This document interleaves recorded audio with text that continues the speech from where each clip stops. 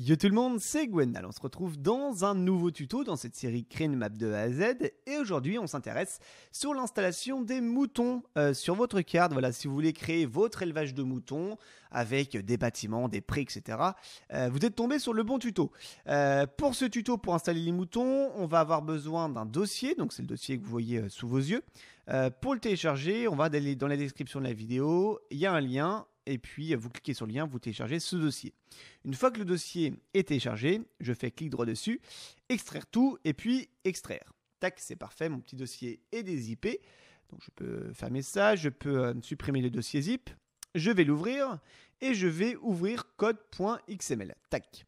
Et donc là, il y a deux cas de figure. C'est euh, le cas où vous avez déjà installé euh, d'autres animaux, donc vous avez eu besoin euh, d'installer l'infolayer.grle. Donc si vous avez sur votre carte suivi mon tuto pour les poules, pour les couchons, etc., et installé, déjà installé l'infolayer GRLE, vous n'avez pas besoin de le refaire. Or, si vous ne l'avez pas fait, donc par exemple sur cette carte-là, il n'y a pas encore d'animaux d'installer, donc j'ai besoin d'installer l'info layer. Donc c'est ce qu'on va, ce va faire en premier.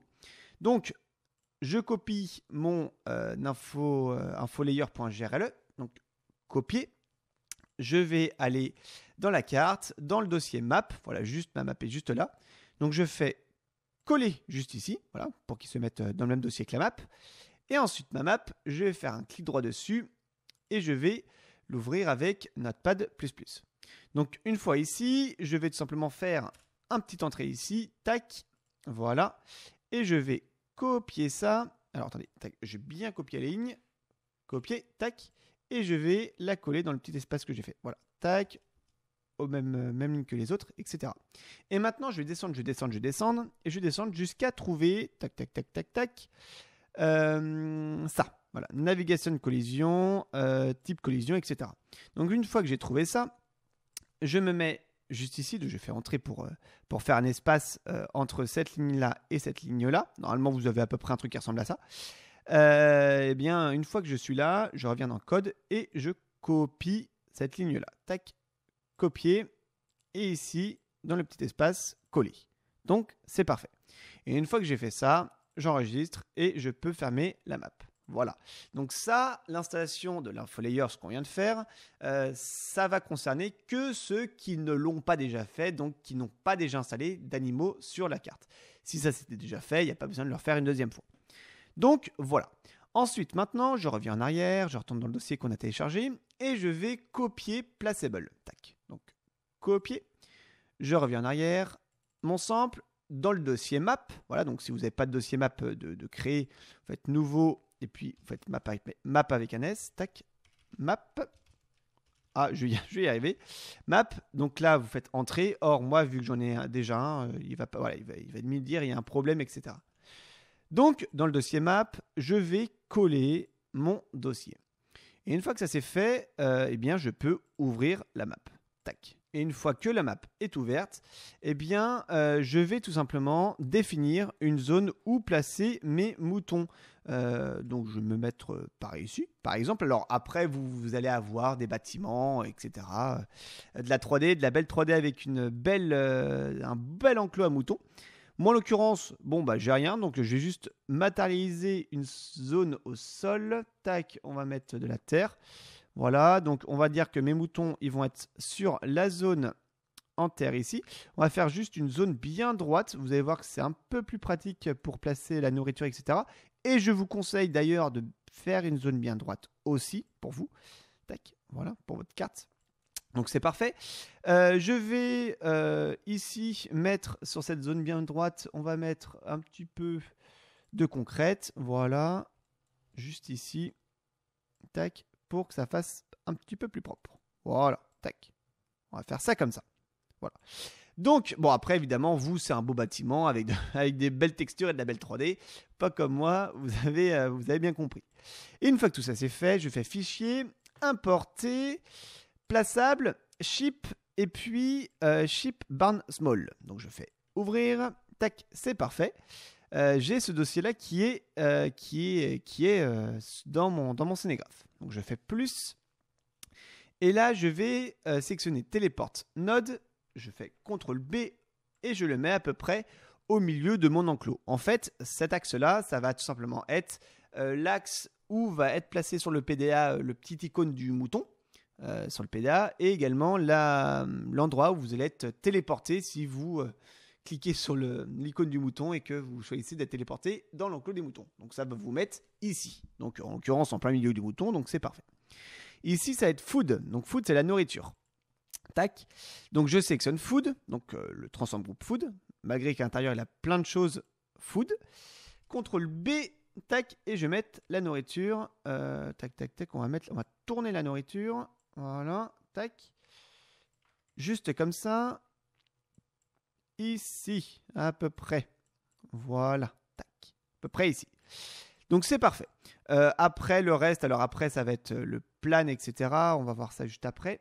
Tac, ici le trigger, ici le node. C'est parfait. Donc le reste, je ne vais pas toucher, on verra ça après. On va voir l'eau tac, l'eau. Donc, je sélectionne l'eau. Euh, CTRL B, je vais mettre mon eau. Alors, je vais tourner mon auge à haut, comme ceci. Tac. Voilà. On va la mettre par ici. Voilà. C'est pas trop mal. C'est parfait. Donc, pareil, mon eau, on va la laisser là pour l'instant. Euh, voilà. On va voir les palettes Area. Donc les palettes area, ça va simplement être la zone où vont apparaître mes palettes de laine. Alors moi, je sélectionne ce, ce, ce transform group. Je vais faire CTRL B et je vais la mettre par ici. Pour visualiser ce que vous faites, euh, vous, vous sélectionnez euh, le palette trigger et vous le mettez en visibility. Tac. Et euh, ça va vous mettre à peu près la zone où... parce que le, transform group est un petit peu, un petit peu excentré. Donc, tac voilà. Voilà. On va, mettre ça par là. À peu près.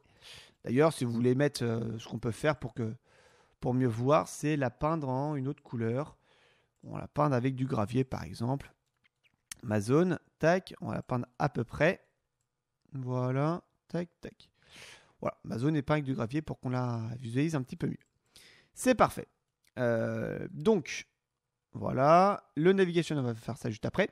Le warning strip, donc ça, ça va simplement être euh, les, trucs visuels voilà, qui vont être euh, désactivables en jeu. Donc, par exemple, le marqueur des palettes. Donc, je sélectionne market, euh, marqueur palette, excusez-moi, CTRL B que je viens placer ici dans mon dans mon dans mon dans mon trigger, etc. Alors là, je suis pas très bien placé, donc tac je sélectionne les deux. Alors, mince. Euh, si, si, je devrais pas être trop mal normalement. Voilà. Et un petit peu le décalé là.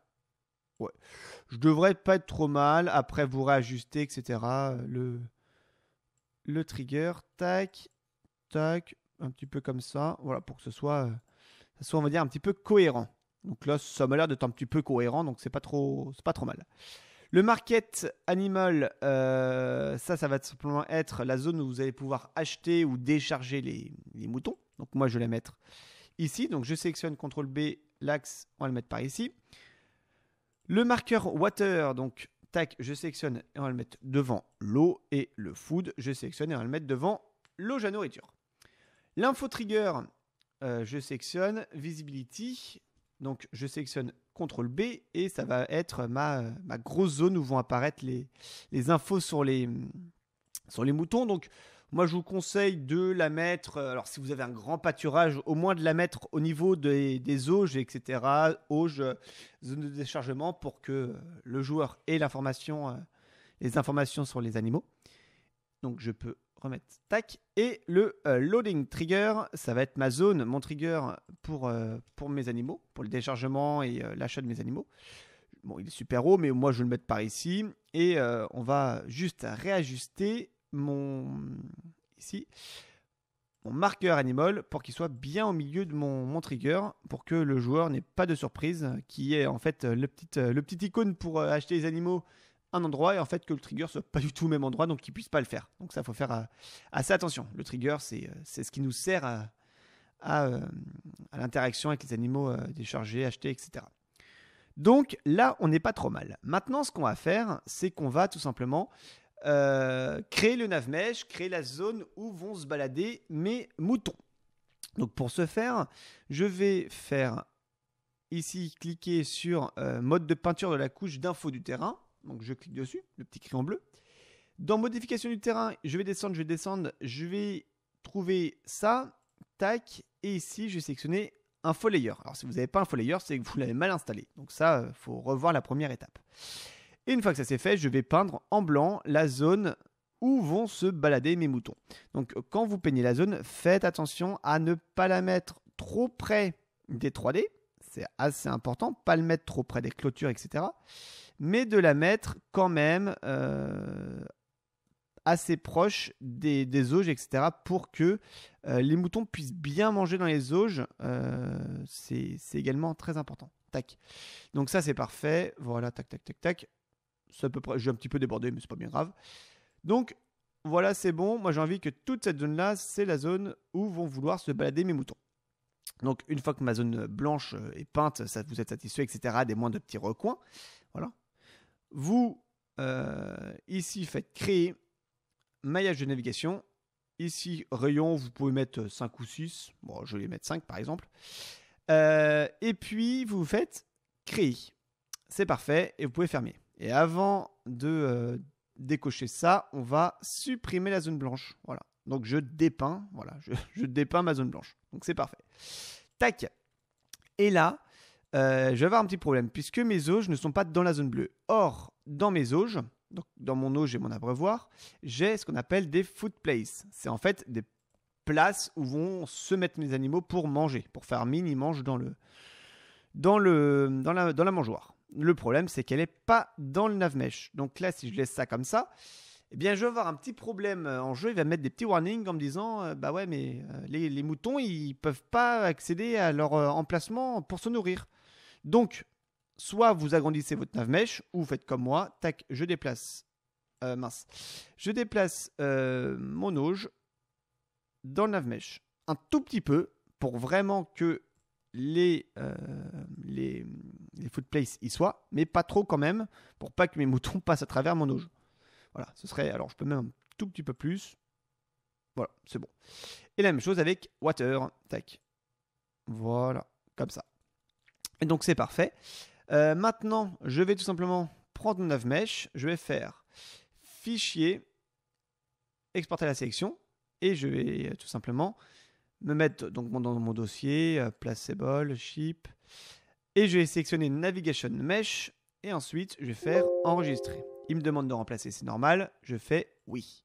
Donc c'est parfait. Maintenant, je peux supprimer mon navmesh. Et avant de, de, supprimer tout l'ensemble d'exporter et tout ça, on va aller voir ça dans le, dans le petit fichier XML, euh, placeable, ship et euh, ship barn.xml. Et donc tout ça, toutes ces petites lignes de code, euh, c'est ce qui va configurer ma 3D qui est placée ici. Donc on va reprendre tout juste pour vous expliquer à peu près comment ça fonctionne. Vous allez voir, c'est pas bien compliqué. Tac, moi ce qui va m'intéresser, ça va surtout être ici euh, les tac tac tac euh, water. Voilà. Bien que les que les que les water place correspondent bien au water place ici. Tac. Voilà. Donc water place ici. Donc là euh, l'emplacement pour que mes moutons puissent boire 3 slash 2 slash 0 tac ici 3 slash 2 slash 0 et celui d'en dessous la même chose avec un 1 à la fin Tac. Et ici, la même chose avec un 1 à la fin. Donc, c'est parfait. Le min max, donc le, minimum, donc euh, quand vraiment euh, les est vide, enfin le loge, l'abreuvoir est vide plutôt. Euh, donc, il va le plan va être à 0. Tac, le plan, il est où? Il est où? Il est ici. Va être à 0. Alors, c'est quoi? Mince. 0. 0,3. 0, 0, 0,03. Euh, Tac. Donc vraiment au plus bas. Et quand ça va être plein, ça va être euh, ici un petit peu plus haut. On a la même chose avec euh, toute, la nourriture. Voilà. Le min et le max. Voilà. la texture, ça va être du dire grâce. Donc ça va être du. du foin, je crois que c'est. Voilà. Et puis, on va avoir également le, spawn des palettes. Le spawn des palettes qui peut être assez important. Alors après, ça dépend ce que vous voulez faire comme, comme taille d'élevage. Mais on en a parlé tout à l'heure du spawn des palettes qui est ici et comment fonctionne le spawn des palettes. Puisque je vous ai parlé d'un trigger et que les palettes euh, spawnaient dedans. Alors c'est vrai, mais en fait, c'est un peu plus compliqué que ça. Dans mon, dans mon euh, palette area, donc dans ma zone de palette, j'ai donc certes mon trigger, mais c'est pas celui qui va m'intéresser. Ça va être ces deux lignes-là, l'area 1 et l'area 2. Dans mon area 1, j'ai deux choses. Donc j'ai l'area 1 et donc le start et le end. Et en fait, qu'est-ce que ça va être? Ça va être deux points comme vous pouvez le voir. Sur ces deux points, on va euh, tracer une espèce de ligne virtuelle. Voilà, une espèce de ligne virtuelle qui va se tracer entre, ces deux points.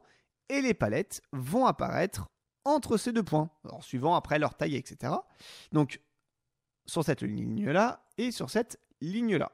Alors, tac, le petit plus, et sur cette ligne-là qui est un petit peu plus loin. Et donc ici, on retrouve le start, le end, donc la première ligne, hein, euh, le start ici et le end ici, avec euh, ici les, les, index qui correspondent. Et puis la même chose avec le 2, le start et le end. Euh, qu'est-ce que c'est Donc c'est wool, donc de la laine, et le nombre de palettes. Donc moi avec cette taille-là, il peut y avoir 8 palettes. Voilà. Donc c'est parfait. eh bien écoutez, tout a l'air d'être plutôt bien placé. On peut aussi euh, également changer la taille de la mangeoire. Voilà, si vous décidez euh, de ne pas utiliser cette mangeoire là, euh, donc de, alors je sais pas moi, pas utiliser cette 3D là ou pas utiliser ce plan là. Alors ce plan c'est ce qui va bouger en hauteur en fonction s'il est vide ou s'il est plein, ma mangeoire. si vous changez, alors déjà si vous changez le plan, voilà, ça c'est ça c'est ce qui va bouger entre est-ce qu'elle est vide et est-ce qu'elle est pleine. Si vous en mettez un autre à la place, il faut bien qu'il soit au même emplacement que celui-là. Donc euh, ici en 1 slash 0. Voilà. Ici, on l'a ici. Euh, food, tac, 1 slash 0. Voilà, c'est ce qui va monter, c'est ce qui va descendre. Donc ça, faut faire assez attention à ça. Euh, donc voilà, si vous pouvez le changer. Alors après, si vous le changez avec la taille, peut-être que ça n'a pas la même taille, donc peut-être pas la même capacité quand on la remplit, etc. Donc ça, c'est à vous de, de, voir ça. Une fois que moi je suis à peu près satisfait, que j'ai bien tout analysé, c'est bon. Alors, tiens, si je dis aussi le nombre d'animaux maximum, donc moi il y a 15, voilà, bon, je vais laisser à 15. Euh, une fois que je suis satisfait, je peux enregistrer et puis je peux tout fermer. Tac. Et ici, sur mon, ma map, je sélectionne Ship Barn Small, fichier, exporter la sélection, euh, je retourne dans, ma map, etc. Euh, ship, Ship Barn Small et je fais enregistrer. Il me, demande de remplacer, je fais oui. Voilà. Alors je ne l'ai pas dit, mais évidemment, vérifier que ça, tout soit à zéro. Tac, tac, tac. Et surtout que le nav, euh, tout, tout, tout, le navigation route node soit à zéro. Tac, tac, tac. Voilà. Donc là, en l'occurrence, tout est à zéro, sauf le scale évidemment. Mais donc, c'est parfait et je peux maintenant supprimer ça. Voilà, je peux supprimer euh, les moutons de ma map, puisque je les ai exportés, donc c'est bon. Euh, je vais ma map, vous enregistrez, vous enregistrez pas, moi je vais enregistrer. Et maintenant, dernière étape qui va être euh, assez courte, je retourne ici dans le tuto mouton, je réouvre le code.xml, tac, voilà ce que j'avais fermé. tac, ici, je vais aller ici dans, mon, dans le mode desk de ma map, et je vais chercher un truc qui va s'appeler, juste comme ça, StoryTem. StoryTem, est-ce que je l'ai? Je le cherche, moi en l'occurrence, je ne l'ai pas. Donc si je ne l'ai pas, eh bien, je fais un espace juste au-dessus de ma balise de fin de mon mode desk. Code, je sélectionne tout ici, copier, et tac ici, tac, coller. Euh, et c'est bon, le StoryTem a bien été ajouté. Si j'avais déjà eu euh, des trucs dans le StoryTem, voilà, si vous, par exemple vous avez installé d'autres animaux et vous avez déjà d'autres lignes, eh bien vous faites un espace après la dernière ligne, comme je viens de faire, et puis vous coller que la ligne du milieu. copier et coller. Voilà. Donc imaginez, au-dessus c'est mes vaches, en dessous c'est mes boutons, etc. etc. en l'occurrence, moi j'avais euh, déjà, euh, j'avais pas besoin de d'autres lignes, donc c'est parfait, j'enregistre. Et juste avant de fermer, je vais chercher cette ligne-là, et au bout de cette ligne-là, on va avoir un truc qui va être le default placeable XML file name, et donc moi c'est dans map slash placeable.xml. Donc c'est parfait Je peux fermer, je peux ici revenir, aller dans Map et placeable.xml que je vais ouvrir. Donc là, c'est pareil, soit comme moi, vous avez rien, si vous n'avez pas installé déjà d'autres placeables, donc d'autres animaux, euh, ou alors en avoir. Donc si vous en avez déjà ou si vous n'en avez pas, moi ce que je vous conseille de faire, c'est de vous mettre juste sur cette ligne-là, de faire entrer ici, donc ça fasse un espace. Alors ça peut que vous ayez plein d'autres lignes en dessous, hein, mais juste, juste en dessous de la balise placeable, vous copiez cette ligne-là, tac, copier, et la mettre juste ici, coller. Tac, voilà, avec le petit entrée. Donc après, ça dépend, ça peut que vous en ayez d'autres, hein, donc vous pouvez mettre en dessous, au-dessus, etc. C'est vous qui voyez. Mais une fois que ça c'est fait, c'est bon, enregistrer, je peux tout fermer et je peux tout simplement euh, mettre ma map dans mon dossier mode et puis aller voir tout ça en jeu. Et donc c'est bon, une fois en jeu, donc tout apparaît bien, c'est parfait. Je vérifie euh, si je n'ai pas d'erreur. En l'occurrence, j'en ai pas. Alors après, vous pouvez en avoir, hein, ça dépend. Euh, ça dépend. Et puis euh, donc je fais mon petit F5 pour voir où sont placés mes triggers, voir s'ils sont bien placés. Donc là, le gros trigger, c'est l'info trigger. Quand j'entre dedans, j'ai bien les infos pour les moutons donc c'est parfait. Mes petits triggers de vente, etc. Mon petit trigger pour les animaux. Bref, on fera le tour euh, juste après, voir si tout fonctionne bien, parce que c'est bien de les voir, mais s'ils fonctionnent, c'est encore mieux. Euh, donc, on va commencer par aller sur la petite patte pour aller acheter mes moutons. Donc, j'ai sur la petite patte, je peux acheter mes moutons, donc c'est parfait. Moi, je vais acheter cela, je vais en acheter 15. Euh, voilà, tac, parfait. Mes moutons, ils sont achetés. ils se baladent bien dans la zone que, que, je leur ai, que ai signifié. Alors, on va juste désactiver ça. Donc c'est parfait, mes petits boutons sont bien là. Euh, je peux essayer ici de vider de l'eau devant l'abreuvoir. Oh, il propose bien de vider. Je vide mon eau, mon plat de monte bien. Ça a l'air parfait. C'est pas trop mal. Tac, je peux prendre maintenant mon tracteur avec euh, dedans mon, foin. Alors vous pouvez mettre une balle aussi hein, directement. Tac, faut bien placer le trigger, c'est tout. Je recule. Voilà, je me mets bien comme il faut. Voilà. Donc là, je suis pas trop mal. Alors, essayez de vous mettre mieux. Essayez de bien mettre vos triggers, etc. Bien en face pour obliger le joueur à bien reculer dans l'auge. Après, ça dépend si vous gardez euh, cette auge là ou si vous mettez une autre ou quoi. Après, c'est vous qui voyez. Bref, voilà, voilà. Donc là, c'est parfait. Même mon mouton vient bien manger. Donc c'est parfait, ça fonctionne bien. On va aller dans le menu. Euh, alors, je vais mettre le temps en avance rapide pour que les, palettes euh, se génèrent assez vite. Mais je peux aller dedans, voir si euh, animaux, pâturage pour moutons, ça s'affiche bien, donc c'est parfait. J'ai de l'herbe, j'ai tout rempli, c'est parfait. L'eau, elle est remplie. La laine, bon, elle va arriver. Productivité, c'est parfait. J'ai bien mis 15 moutons, donc c'est parfait. Ça fonctionne plutôt pas trop mal. Ici, donc les palettes, la palette va arriver. Alors j'ai que 15 moutons, donc ça va prendre un petit peu de temps, hein, évidemment. Voilà, la laine. Alors déjà, on va voir si elle apparaît bien ici. Donc déjà, la, laine, apparaît bien ici. Euh, tac, donc 0 litre, ça va, ça va arriver. C'est que ça se met pas en, temps réel euh, à jour. C'est-à-dire que là, j'ai 0 litre, mais je regarde ma palette, j'ai déjà 6 litres. Euh, enfin, ça compte en litres. Bon, voilà, c'est comme ça. donc j'ai bien quelque chose. Donc c'est que, voilà, là ça se met à jour, 14 litres, 14 litres, donc c'est parfait. Euh, on vous regarde si la palette se met bien dans les encarts, c'est parfait. F5 bien au milieu de mon, de trigger ici, ça a l'air pas trop mal. Alors après, à voir si l'autre ligne se, se, met bien aussi. Ça, c'est, c'est à voir, mais pour l'instant, ça fonctionne pas trop mal du tout. Donc c'est parfait. Euh, je peux acheter 15 moutons. Voilà. Euh, alors je peux essayer également d'essayer d'aller vider. Euh, avec une bétaillère, essayer de donner en mission euh, le fait d'aller euh, donner à boire à mes moutons. Voilà, si je fais, si je fais tac, échappe, créer, créer une tâche, etc. Livrer, livrer, charger. Bref, après faut, alors, je plus, pâturage pour moutons par exemple. position du chargement. Bon, en l'occurrence là, je pourrais démarrer la tâche. Ah oui, parce qu'il faut que je mette un truc de chargement. Bon bref, après essayer en temps réel d'aller euh, d'aller donner à, manger, d'aller donner à boire en mission, euh, voir si tous les axes sont bien placés, etc. Faire tous les tests, hein, tout simplement. Et si tout fonctionne bien, eh bien c'est parfait. Merci à tous d'avoir suivi ce tuto. On se retrouve pour une prochaine vidéo euh, sur Farming Simulator. N'hésitez pas à lâcher un gros like puisque tout ce travail, bah, ça prend du temps. Euh, vous faire le dossier, etc. Vous faire les tutos, vous imaginez la façon euh, la plus simple de faire et tout vous expliquer. Ça prend un peu de temps, donc un énorme like, c'est parfait. Abonnez-vous aussi, ça encourage mon travail et ça me fait vraiment plaisir. Et moi, je vous dis à plus tout le monde.